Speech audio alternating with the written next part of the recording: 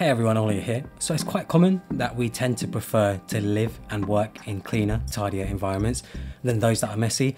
I'm obsessed with keeping a tidy workspace. If you've seen any of my previous videos or follow me on Instagram, you'll see how clean and tidy I keep things. I truly believe that having an organized workspace helps with my productivity and creativity. And there are even several scientific studies that show that there's a correlation between cleanliness, productivity, and positive mental health and physical health. There's actually a study by research scientists from Indiana University that found people who have clean houses are generally healthier than people who don't. They studied nearly a thousand people and found those who kept their homes clean were generally more active than those who didn't and at less risk of heart disease. I have personally found that having a messy desk just stresses me out a little bit. I don't know what it is. It's just it just isn't comfortable to me.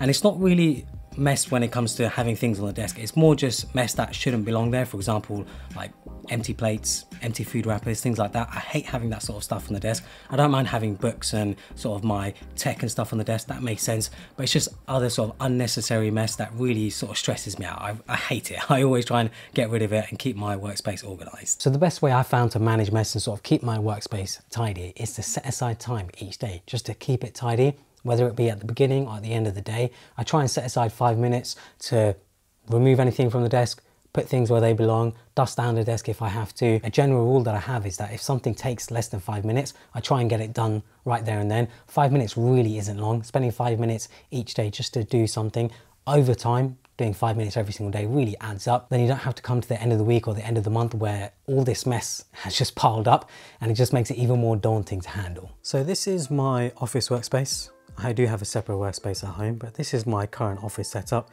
And as you can see, it is pretty tidy and pretty clean, and that's the way I like to keep it. Everything has its place. Oh, I can already tell the desk mat isn't straight. Let's straighten that up.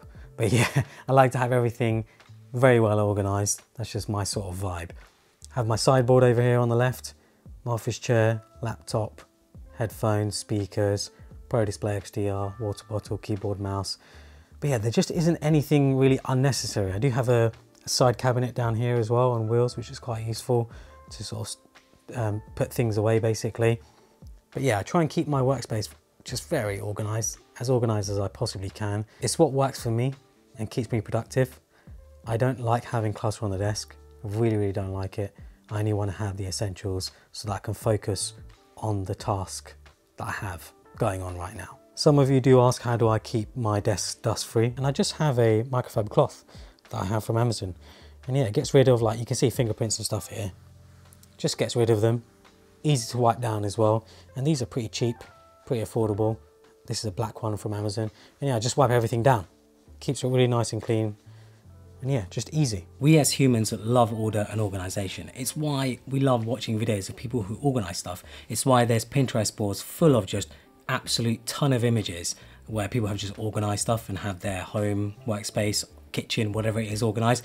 It's just really satisfying to see it all. A study from 2009 found that the stress hormone cortisol was higher in those whose environment was cluttered. There's also another study that found sleeping in cluttered bedrooms is more likely to lead to sleep problems, such as difficulty falling asleep. These studies show that clutter is literally bad for your brain and your well-being. I also wanted to thank Masterworks for sponsoring this video. As most of you are already aware, I love my art and design, but I recently discovered that art has been an asset class with amazing risk-adjusted returns. In fact, contemporary art prices have outpaced the S&P 500 by 168% from 1995 to 2022. On top of that, data shows it has no correlation to any other major asset class. So there's this awesome place called Masterworks, a platform that lets you invest in fine art. You can invest in masterpieces by famous artists such as Banksy, Andy Warhol, and Picasso for a fraction of the cost. Masterworks leverages data and their experienced team to identify art that they think will appreciate in value. Then Masterworks acquires these paintings ranging from $1 million to $30 million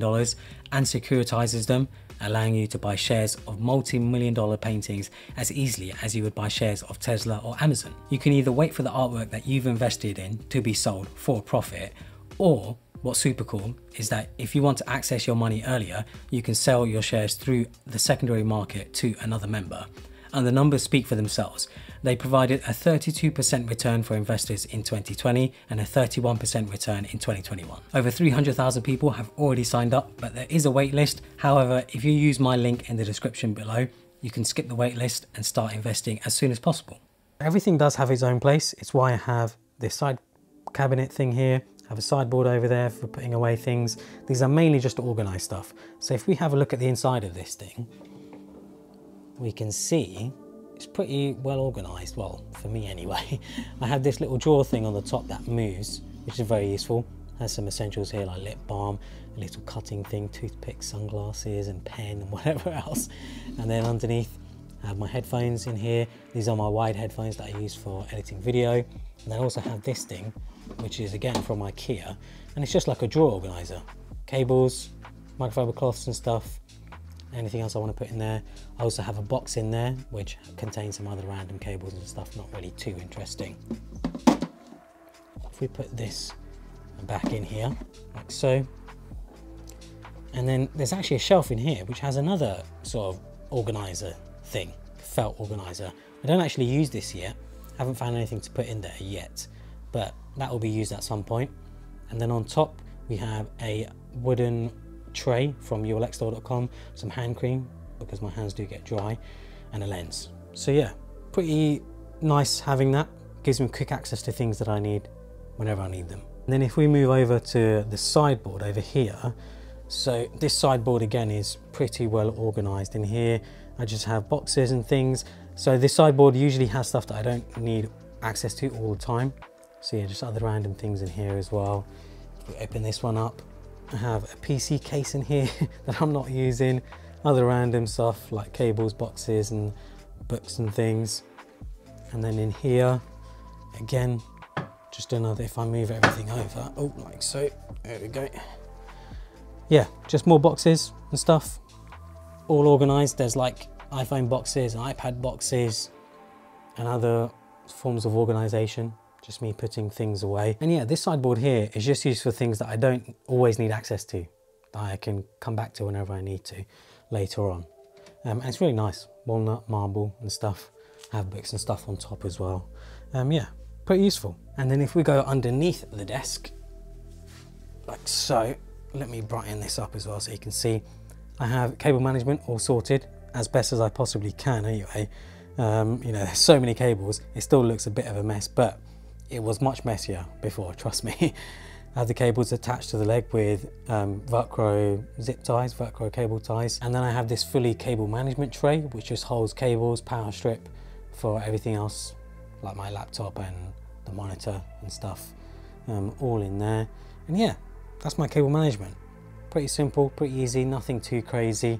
Um, the main thing is the cables don't get in the way when I have the desk go up and down and they don't get tangled up in my feet. Now I'm not saying that everything needs to be super organized and tidy. It really isn't the end of the world if you have a messy desk. For some people having a messy desk could actually increase productivity and creativity. Having that disorder in itself could be a form of inspiration. There have been some famous workspaces that are not that tidy. The most famous one that I can think of is the Steve Jobs one of his home office. He has stuff on the floor, he has stuff on his desk, his shelves seem like such a mess, but clearly this workspace worked for him. I think what's most important is finding a mix of organization and sort of messiness that really works for you. Don't feel pressured that to be productive, you have to have an organized workspace, a very sort of organized and clean space to work in or live in or whatever. For me personally though, having a tidy workspace, having an organized workspace is what helps me stay productive. It's what helps me stay creative. It's really what works for me. But like I said, whatever works for you, works for you, and it's what you should do to make yourself more productive and more creative. So I hope you guys enjoyed this video. Please leave a comment below of organization in the comment. I just want to see who got to the end of the video. It's just nice to see who got to the end. Hope you guys enjoyed it. Follow me on Instagram and Twitter and subscribe for more.